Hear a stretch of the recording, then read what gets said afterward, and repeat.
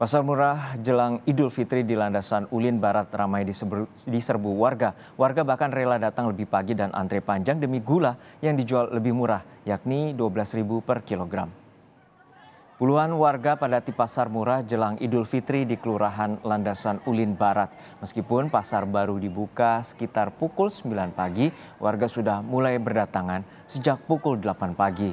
Setelah pasar resmi dibuka, warga langsung menyerbu beberapa stand yang menjual kebutuhan pokok dengan harga yang lebih murah dari pasaran seperti beras, gula, telur, dan minyak goreng.